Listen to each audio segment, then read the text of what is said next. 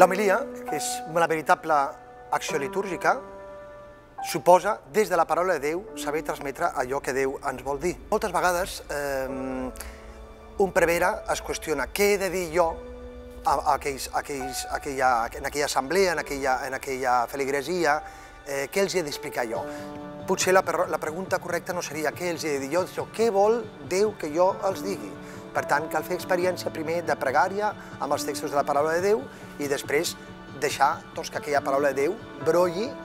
a través de la meditació de l'Escriptura. No? Proposo que es llegeixin bé els textos de la seva Escriptura, que s'han de predicar aquí diumenge, Aleshores, fer pregària a través d'aquests textos i després deixar que el Senyor inspiri. Basar-se, sobretot, també en els bons consells que es donen als pares de l'Església, aquells pensadors dels primers temps,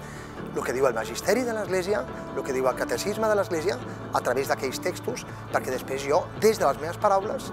que han de penetrar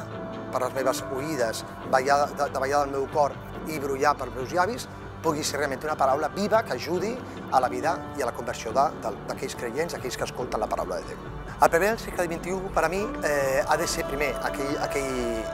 aquella persona integrada dins de la vida del món, però sapiguem ben clar que ha estat consagrat, és a dir, agafat del món, perquè no ser del món, sinó eh, viure en el món, saber traspoar amb la seva vida, la seva predicació, la seva paraula, doncs, com Déu vol parlar a la humanitat.